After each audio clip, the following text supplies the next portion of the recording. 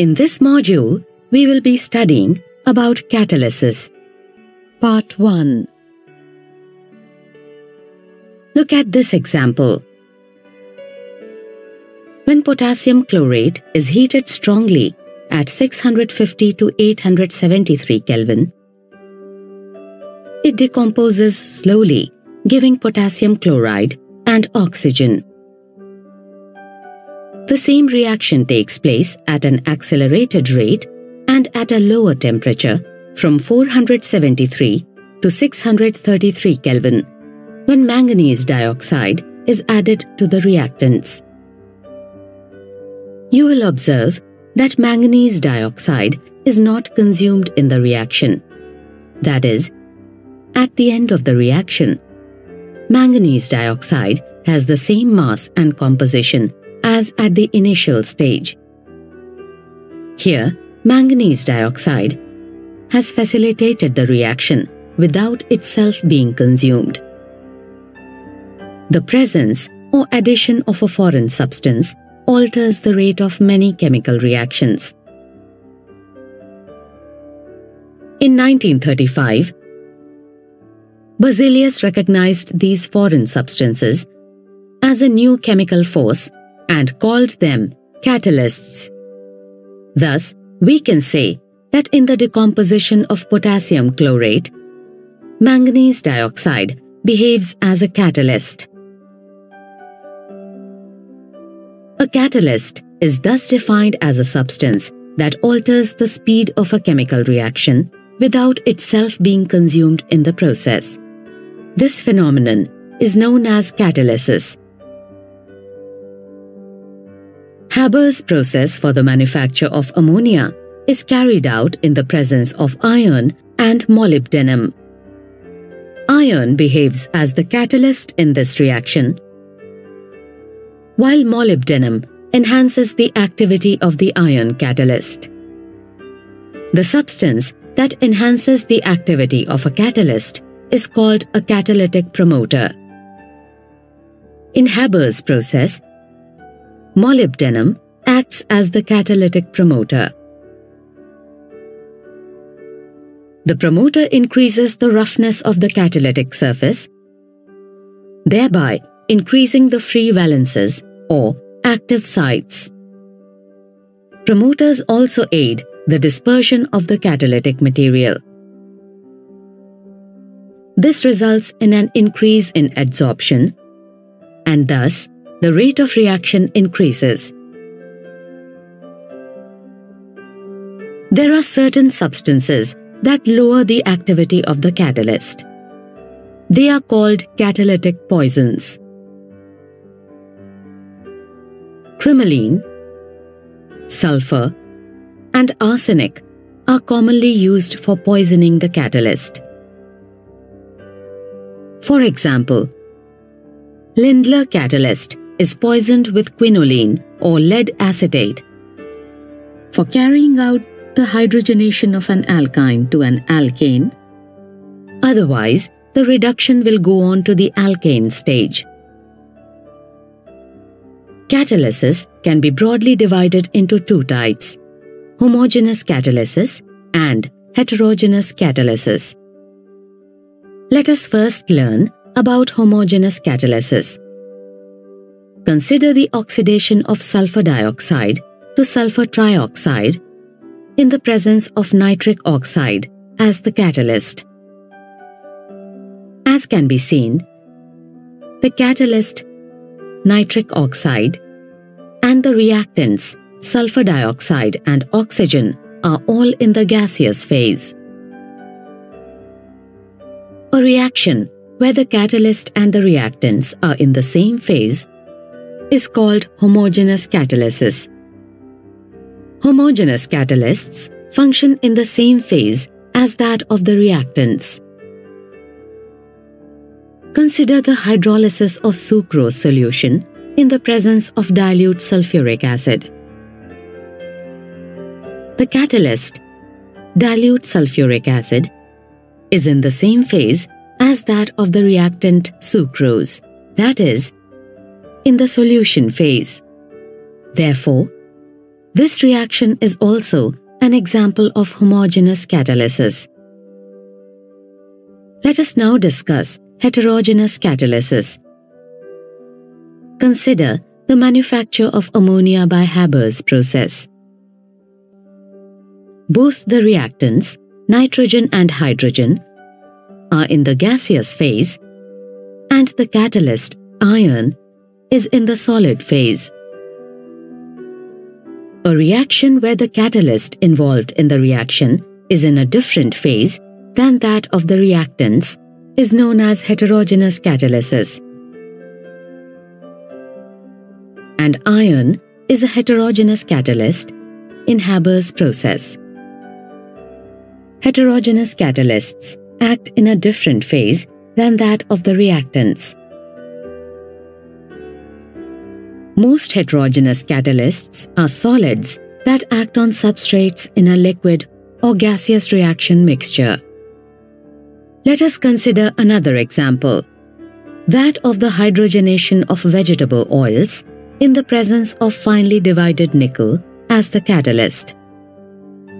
In this reaction, the catalyst nickel is in the solid phase and the reactant vegetable oil is in the liquid phase, while hydrogen is in the gaseous phase. Thus, nickel is a heterogeneous catalyst and this is an example of heterogeneous catalysis. Diverse mechanisms of heterogeneous catalysis are known. We will discuss three theories of heterogeneous catalysis, namely the old adsorption theory, the intermediate compound formation theory, and the modern adsorption theory. Let us first discuss the old adsorption theory. According to the old adsorption theory, the reactants in the gaseous phase and the solution phase are adsorbed at the active sites on the surface of the catalyst. This resounds in an increase in the concentration of the reactant molecules on the surface of the catalyst. As a result, the rate of reaction increases. The relative ease with which the product is separated from the surface of the catalyst helps a continuous chemical process to be initiated. Also, as adsorption is an exothermic process, the heat involved in the reaction helps to speed it up. Let us now discuss the second theory of heterogeneous catalysis, the intermediate compound formation theory. According to the intermediate compound formation theory, the reactants A and B first combine with the catalyst C to form an intermediate complex. This intermediate complex is short-lived and decomposes to give the products, while the catalyst is regenerated. You already know that the presence of a catalyst provides an alternate path to the chemical reaction. A look at these curves shows that the activation energy of the catalytic path is much lower than the non-catalytic path. Also, the peak of the curve represents the intermediate complex. You can see that the intermediate complex formed with the catalyst has a much lower potential energy than the intermediate complex formed between the reactants in the absence of the catalyst. Now, as the energy barrier for the catalytic path is lower than the non-catalytic path, the rate of reaction increases in the presence of a catalyst. Thus, we see that the intermediate compound theory provides an alternative sequence of elementary steps to accomplish the desired chemical reaction. Let us now move on to the modern adsorption theory of heterogeneous catalysis. The modern adsorption theory is a combination of the old adsorption theory and the intermediate compound formation theory. This theory explains most examples of heterogeneous catalysis.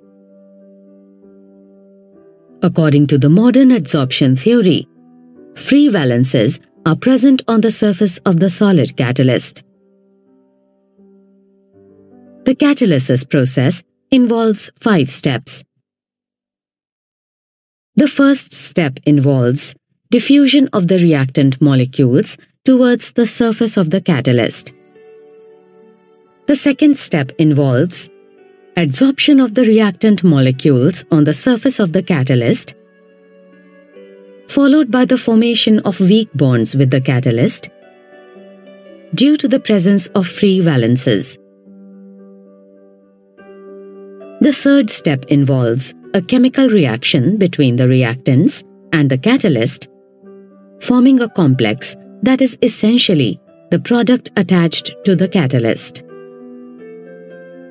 The fourth step involves desorption of the product molecules from the surface of the catalyst as it lacks affinity for the catalyst surface, making a surface free and ready to interact with another reactant molecule. The last step involves diffusion of the product molecules away from the surface of the catalyst. The modern adsorption theory successfully explains that only a small quantity of the catalyst is sufficient for the reaction. As the catalyst is regenerated in the reaction, and that at the end of the reaction, the mass and chemical composition of the catalyst remains unchanged. However, the main drawback of the modern adsorption theory is its inability to explain the action of catalytic promoters and catalytic poisons.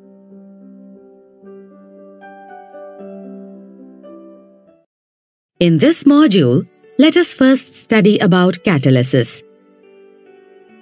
From the earlier discussions, you are already aware that most heterogeneous catalysts are solids and that they can act on the substrates in a liquid or gaseous reaction mixtures. These solid catalysts may be metals, metal oxides, metal sulfides, or clays. They may be used in their pure form or in the form of their mixtures. Further, they may be crystalline microcrystalline, that is, in the form of fine particles, or amorphous. However, two important features that govern the choice of a solid catalyst for a particular reaction are activity and selectivity. Let us first discuss the activity of a catalyst. By activity of a catalyst, we refer to its capacity to increase the speed of a chemical reaction. Consider the chemical reaction between hydrogen and oxygen to form water. In the absence of any catalyst, hydrogen and oxygen do not combine, and therefore can be stored for an indefinite period. However, in the presence of platinum as a catalyst, they react rapidly to form water. Thus, the activity of a catalyst depends upon the extent of chemisorptions. The absorption of the reactant molecules should not be so strong that their molecules become immobile, and further absorption of reactant molecules is not possible. For hydrogenation reactions, it has been observed that the catalytic activity increases from group 5 to group 11. For example, the absorption of hydrogen onto the surface of tungsten tends to be too strong, while its absorption onto silver is too weak, making both less useful as catalyst for hydrogenation as compared to nickel or platinum. Let's now look at the selectivity feature of a solid catalyst. Consider these chemical reactions of carbon monoxide and hydrogen in the presence of different catalysts. In the first reaction, carbon monoxide reacts with hydrogen in the presence of copper as the catalyst to form formaldehyde. In the second reaction, carbon monoxide reacts with hydrogen in the presence of nickel as the catalyst and forms methane and water vapor. In the third reaction, carbon monoxide reacts with hydrogen in the presence of copper and zinc oxide with chromium oxide as the catalyst to form methyl alcohol. We can say that carbon and hydrogen react to form different products in the presence of different catalysts. Thus, we can define the selectivity feature of a catalyst as its ability to direct the reaction to form particular product or products excluding others. A substance chosen as the catalyst for a reaction can act as a catalyst for that reaction only and not for any other reaction. It means that a substance that acts as a catalyst in one reaction may fail to catalyze other reactions. This shows that catalysts are highly selective in nature. The role of catalyst is to shift more and more towards getting better selectivity to a desired product in a chemical reaction. Let us now learn about another important class of reaction, shape-selective catalysis. The catalytic reactions that depend upon the structure of the pores of a catalyst and the size of the reactant and product molecules is called shape-selective catalysis. An important category of compounds that have the ability to act as good shape-selective catalysts are zeolites. They are microspore crystallized solids and possess well-defined honeycomb-like structures. Chemically, zeolites are aluminosilicates with the general formula Mx by N ALO2 XSiO2 YZH2O where N is the charge on the metal ion, which is either sodium or potassium or calcium ion, and Z is the number of water molecules of hydration. In aluminosilicates, some silicon atoms in the tetrahedral structure of silicates are replaced by aluminium atoms, giving it aluminium oxygen silicon type of framework while the cations and water molecules are present within the pores. Zeolites are found in nature as well as are synthesized for catalytic selectivity. Before being used as catalysts, zeolites are heated in vacuum so that the water of hydration present in the cavities in the cage-like structure is lost and they become vacant. Thus, the shape and the size of the pores control the axis of the reactants and the products. In other words, the reaction taking place in a zeolite depends upon the shape and size of the reactant and the product molecules, as well as the pores and cavities of the zeolite. It means that they are shape-selective catalyst. Because of their unique porous properties, zeolites find applications in a variety of processes. Zeolites are commonly used in water softening and purification, in synthesis of high-value pharmaceuticals, in petrochemical industries for cracking hydrocarbons for isomerization, and in fuel synthesis. An important zeolite catalyst used in the petrochemical industry is ZSM5, which is a zeolite sieve of molecular porosity 5. ZSM5 converts alcohol directly into gasoline or petrol by dehydrating it, resulting in a mixture of hydrocarbons. All applications of zeolites are driven by environmental concerns, and they contribute significantly to a cleaner and safer environment.